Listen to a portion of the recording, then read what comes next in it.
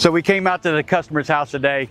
They were saying that there was no cooling. So we went to the thermostat, we dropped it down to 62 degrees, came out to the outdoor unit. It's a package unit, Goodman.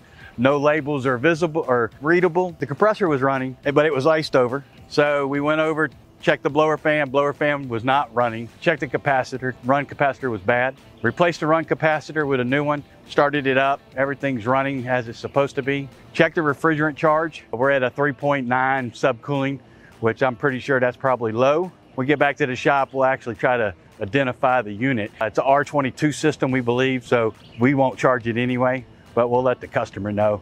But it is providing cooling. It is running now. And basically the coil froze over because you had no airflow and you were running and you had it in cool mode. So the compressor's running, pumping refrigerant through the coil with no airflow across it. So it allows it to freeze up.